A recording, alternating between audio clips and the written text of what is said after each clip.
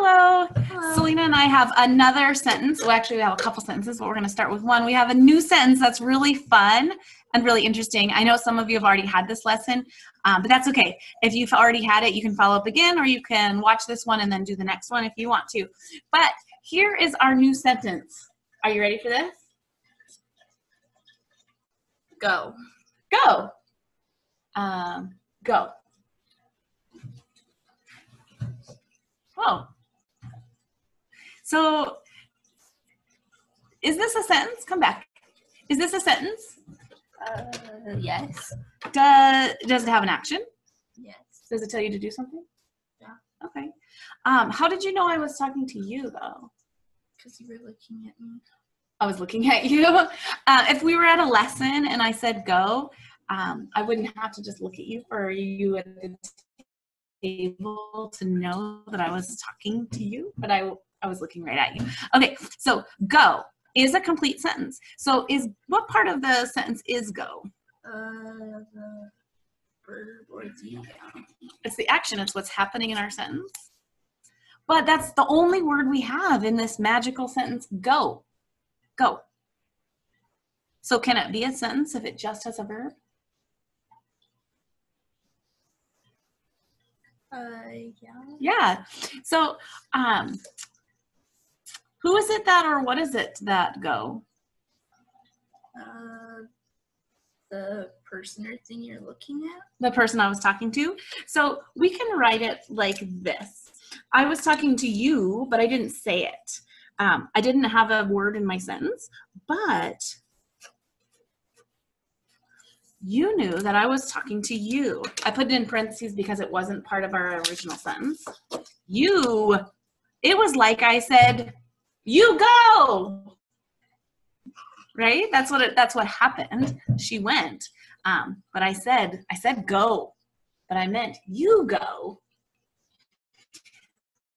Uh, these are, this is a funny kind of sentence. These types of sentences are really kind of cool. This this um, subject is an implied subject, meaning I didn't say it, but I meant it, and you knew I meant it. So I don't have to say you go. I can just say go, and it's understood between us that I mean you. Uh, so this, like I said, this is called um, an elliptical construction. And elliptical comes to us from the Greek elliptikos, meaning broken or damaged. And you can see that this sentence, um, there it is. uh, you can see that the sentence is kind of broken. There's parts that aren't there, there's missing. But when we have the implied subject, when we see you go, we see that it looks like a complete sentence then. Okay, uh, so the predicate is all we have in the sentence. The sentence just has an action. Go. Okay, we're gonna set up another one. Reset our circles and our arrows. Okay, are you ready for another sentence? Wash the windows. What's the action? What's happening? Uh, wash. Wash. Do you want to cut wash and put it there?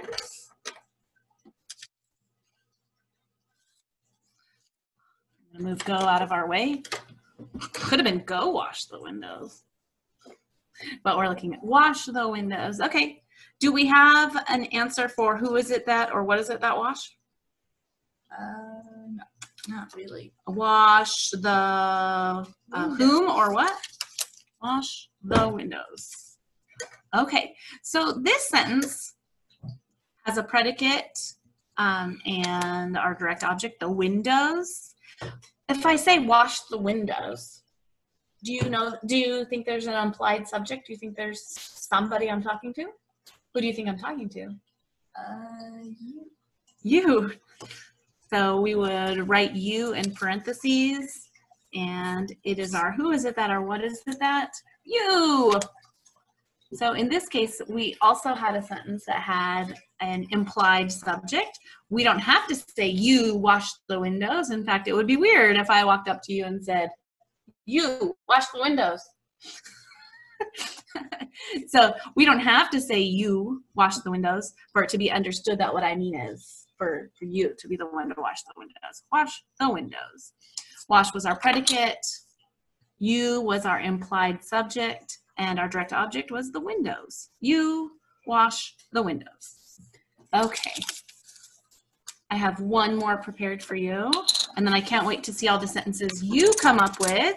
Maybe they're sentences that you hear your parents say at home or me in class. Okay.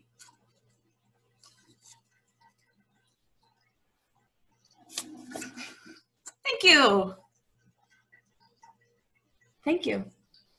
Okay. Thank you. Thank you. Thank you.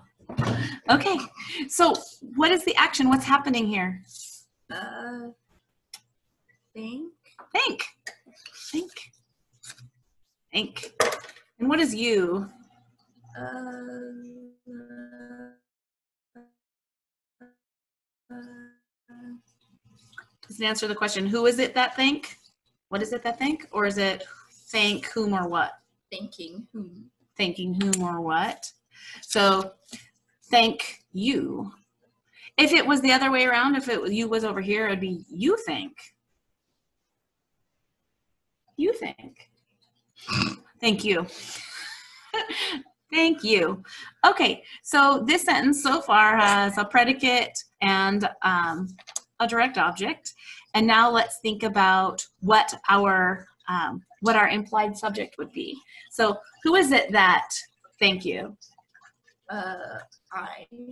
I thank you. I thank you. So in parentheses, our implied subject is I. I thank you. It would sound really weird if we spoke that way. Like, like, you wash the windows. I thank you.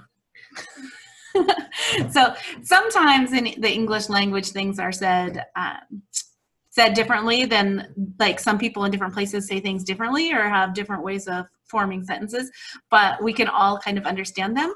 I know when we read our postcards from around the world and people who you can tell English isn't their first language, and they say things like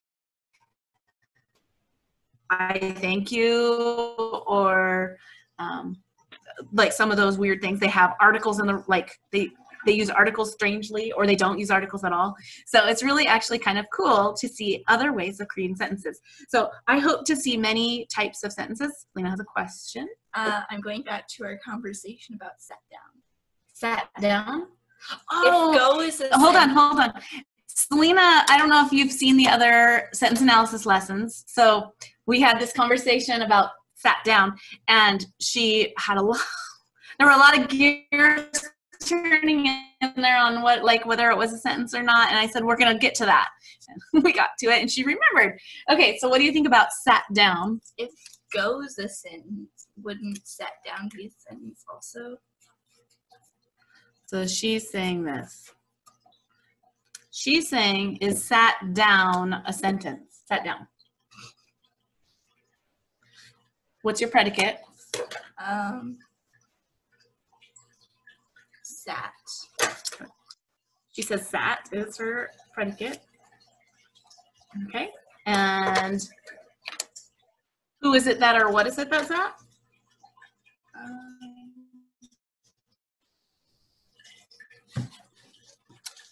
Sorry, I was just looking for a previous word. Is it you sat?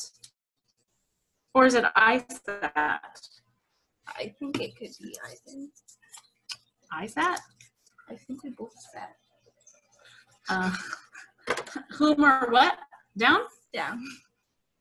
Well, no, that doesn't make sense. Down is Hmm. describing sat. Oh no. She thought she was ready, but she has she's not quite ready. Okay, she's saying sat is here. She's saying it's implied that she sat uh implied right there down that where you sat? Is it how you sat? Is it why you sat? Um, how did I sit? Down? yeah. I sat. Why? No, it's not why. Hmm. Well, she's going to continue to work on her sentence. Sat down and decide if she really thinks it's a sentence or not. um, sentence analysis can be really fun. You can um, so often many like we write out a sentence and a couple people have different ideas on how to analyze it because they think different parts are doing different work and so just kind of like sat down um, it just it depends on what she's trying to say. We're, we're still waiting. So okay. I hope you enjoyed elliptical constructions. This is some fun work. Um, remember ellipticos comes to us from or elliptic comes to us from the greek ellipticos, meaning broken or damaged. So it's like a sentence with a missing part. But as you saw, it doesn't have to be missing. We can add it in. And if it's if you're adding it in, remember put parentheses because it wasn't part of your original sentence.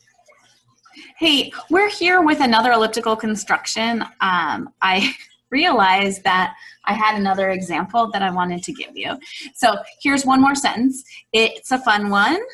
He spends like a millionaire. He spends like a millionaire. I'm going to move this off and we'll use chart A. So I'm going to move you into this other view so you can see the questions better. Okay, so let's analyze this, Selena. Um, what is the action? What's happening here? Spends. He spends. Sorry, I took the scissors right from you. Spends. Who is it or what is it that spends? Uh, he. He spends. He spends whom or what? Do we have a whom or what?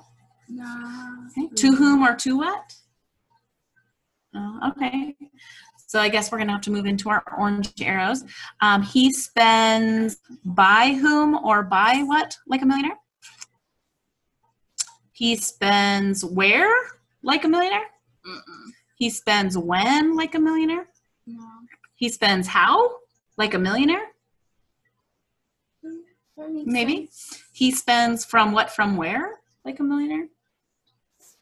He spends what for like a millionaire? He spends why like a millionaire? Uh, no.